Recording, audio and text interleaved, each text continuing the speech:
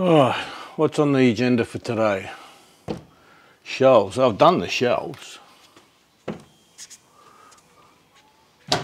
Put up stickers. I'll put up the stickers.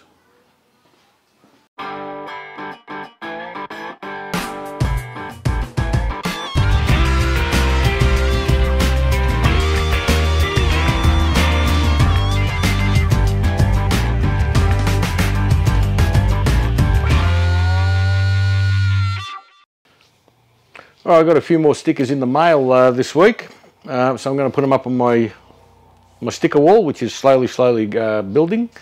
First one going up is from Mind Matter Create. Thanks, Dave. Thanks for sending one that to me. Let's pop you up on the board here.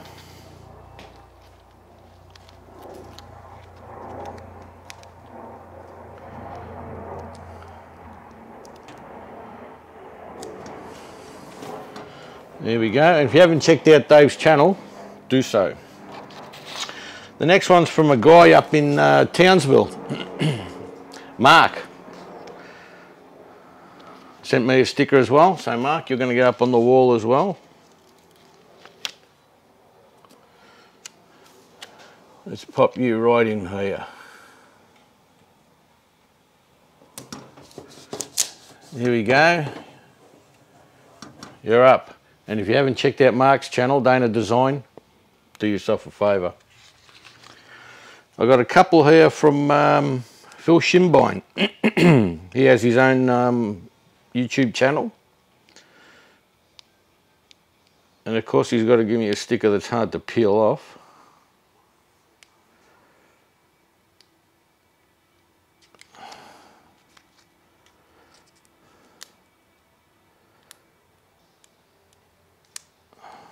You're kidding, aren't you? Here we go.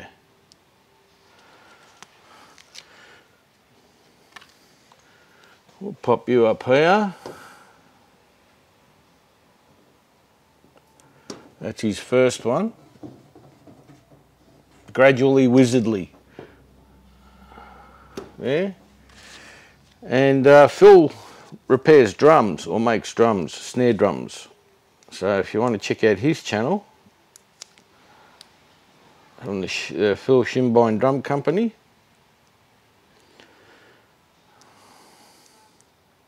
You got to do something about those stickers, Phil. They're hard to peel off. And I'll put you right here under this one. There we go. And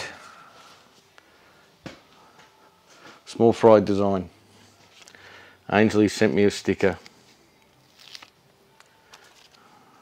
Ainsley, there we go. Ainsley's going up here. There you go. How's that? Very happy. Okay, that's the sticker wall for today. Okay, so the stickers are up. What else have I got to do? The Karl Pope Chair Challenge. Karl Pope Chair Challenge.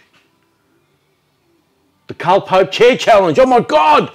It's got to go today. I'm going to get some scraps together and throw something together. Let's get into it.